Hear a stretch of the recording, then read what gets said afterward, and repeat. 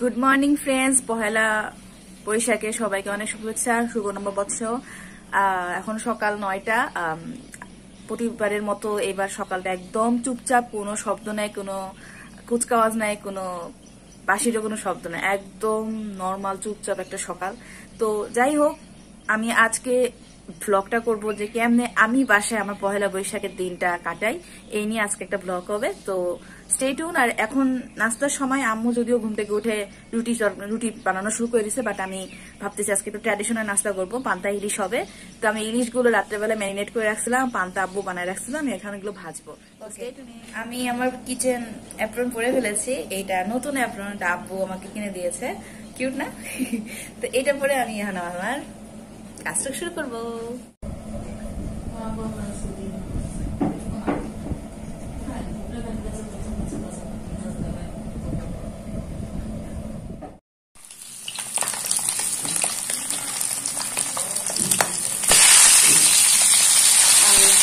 গরম তেলে মাছগুলো ছেড়ে দিচ্ছি।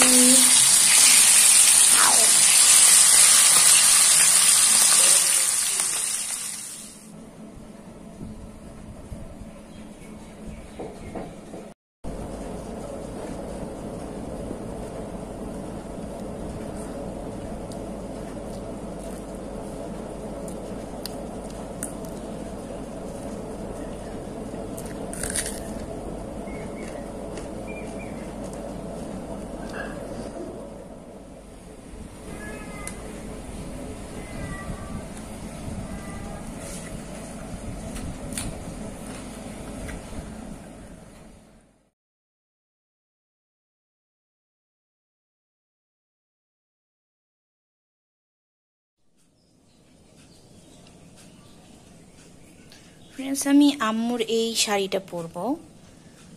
যদিও এটা বৈশাখের মতো না, তারপর আমার এই শাড়িটা পছন্দ হয়েছে। আর এই সব গহনাগুলো আম্মু নিজে বের করে দিয়েছে। ব্রেসলেট, মোটা বালা, কানের দুল, নেকলেস, ইয়ার আংটি সবই দিয়েছে। আমি এখন এগুলো পরবো ফ্রেন্ডস আমার প্রায় আধ ঘণ্টা লাগল শাড়ি পরতে। এখন আমি মেকআপ করব। আম্মুর শাড়ি। এইটি পার্সেন্ট নিজেই পড়ছি, বাকি টোয়েন্টি পার্সেন্ট আম্মু পড়াই দিছে। স্টে টুডেন্ট আমি এখন সাজগোজ করব।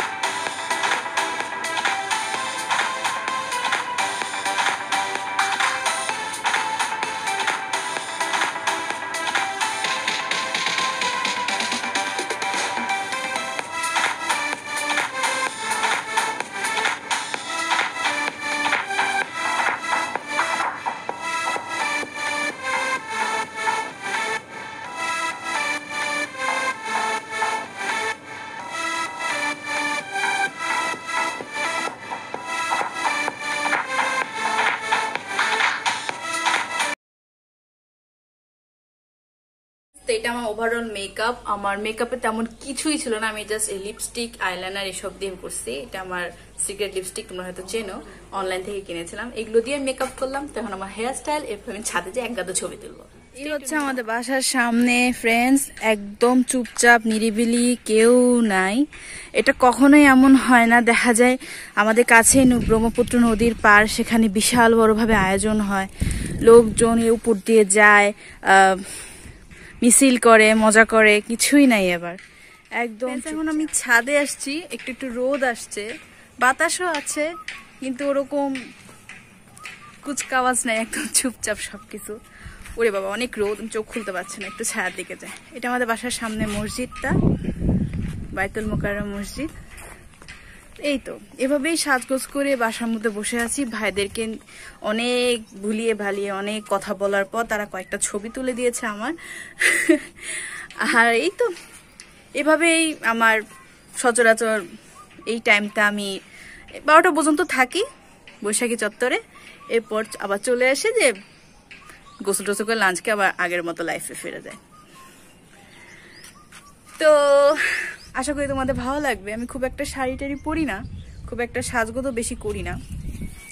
তো আজকে এখানেই কেমন লাগল ব্লগটা অবশ্যই আমাকে জানাতে হবে। আর দুপুরে আমাদের স্পেশাল মেনু তেমন কিছু না। ইলিশ মাছ ভাজা হবে, খিচুড়ি হবে। যদি অনেক গরম বাট খিচুড়ি হচ্ছে। আম্মুর কি জানি না কেন খিচুড়ি করতেছে। এই তো। তো আমার এই সাজ, আমার এই গোজ, সবার অনেকের ধারণা যে আমি কেন সাজি না, বা অনেকে বলে যে এত সিম্পলি কেন অভিনয় করি, বা সিম্পলি কেন থাকি।